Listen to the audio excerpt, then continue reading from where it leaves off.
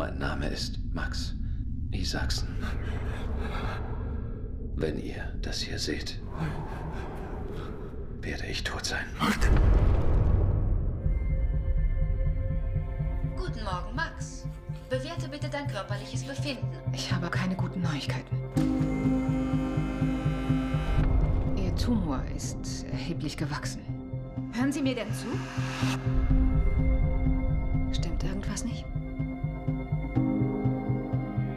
Ich wünschte, dass wir immer zusammen sein könnten. Du bist süß.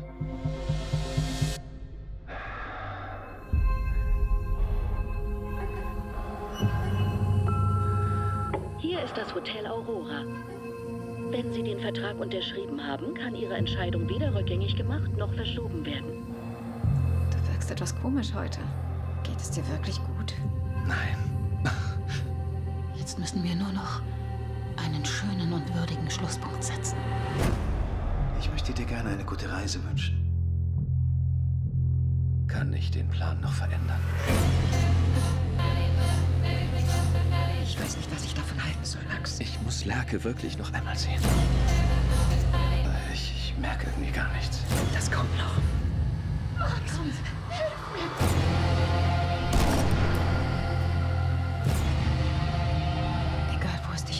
Ich will mitkommen.